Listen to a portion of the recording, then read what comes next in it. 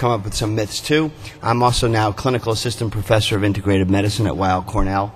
Just flew in on a red eye and try to give you my best talk possible. But uh, Dr. Rothenberg, I remember my eye doctor giving me 50,000 units for myopia of vitamin D every day. So that's how long I go back for vitamin D. I'd say one place of toxicity, just to mention everybody, was sarcoidosis. If you see a patient with sarcoidosis and they overdose vitamin D, they'll get hypercalcemic. Let's talk about IGF 1. And the reason why, by the way, the reason I took this talk is that many of you are going to be harassed by medical boards and medical agencies. And having spent 20 years dealing with them and their opinions, I thought that you should really know the data. Um, and that's what I'm going to try to show you in an overview. First thing is to remind you that the most important organ of the body is the brain. And we've spent a lot of time on pap smears, uh, colonoscopies, breast exams, prostate exams. When they say of this generation, they had their head in their butts rather than looking at the most important organ, it will be true. Everybody needs a brain health checkup. We will be able to repair the human body, and the brain is the most important organ. And growth hormone is really mislabeled. It's really a repair hormone for the brain. It helps with memory, it helps with attention, and you need to know the blood levels. The next most important principle that I say is missed in medicine, or maybe a myth, is that you're only as young as your oldest part.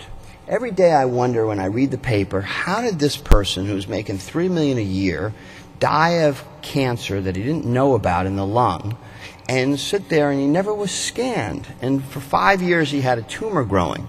And that always bothers me a lot. And I think that it's really incredible that I know the insurance companies won't pay for the scan, but at this point, everyone should know that you're only as young as your oldest part, and if you miss one section of your body, you're in for trouble. And every day, you know, we have the marathons in New York and someone dies, or every year we have the marathon and someone dies, and I realized they had no electrophysiology study, they didn't have a CT angiogram, and it seems that doctors are unaware that you really have to scan people with a computer. To put it in simple terms, Flexner's physical exam is now a fraud, and that the only way to do a physical is with the computer.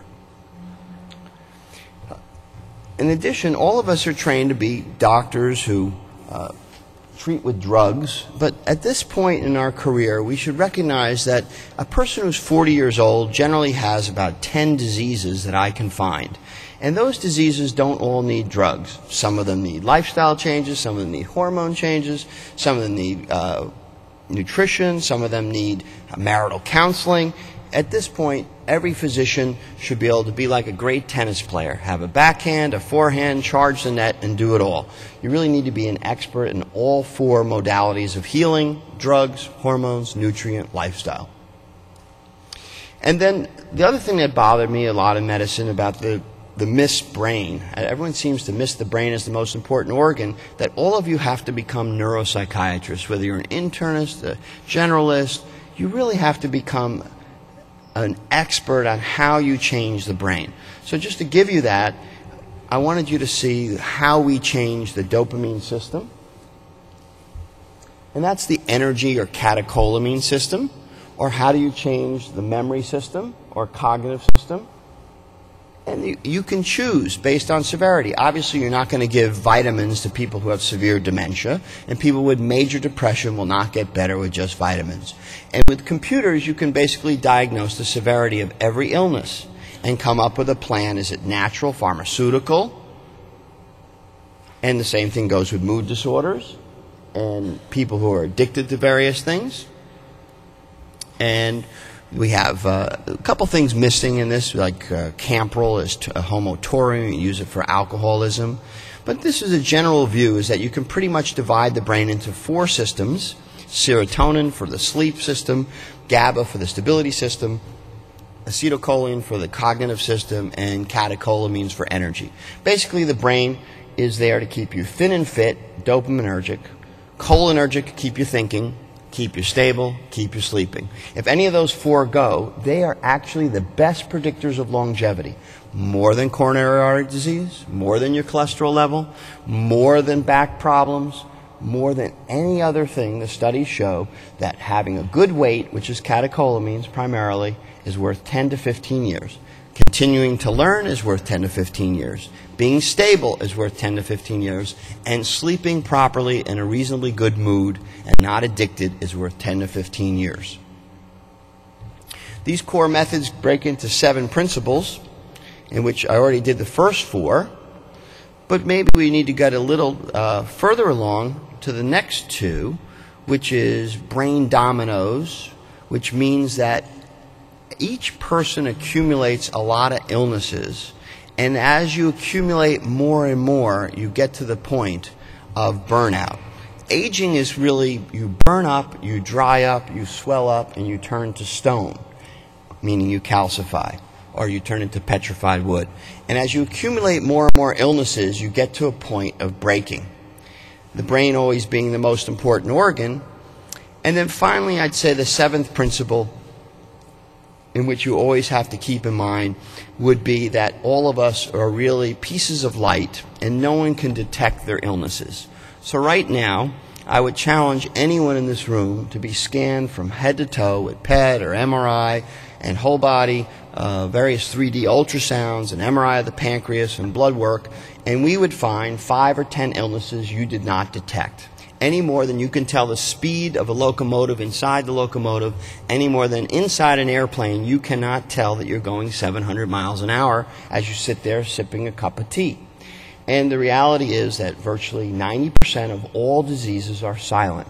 So, on those principles that disease is silent, that a 40 year old person's half dead, a 60 year old person's two thirds dead, a 70 year old person is seven eighths dead. In fact, a 70 year old person is really 10 years old and he is going 10, 9, 8, 7, 6, 5, 4, 3, 2, 1, not climbing back into his mother's womb, but climbing generally back into the womb of this earth.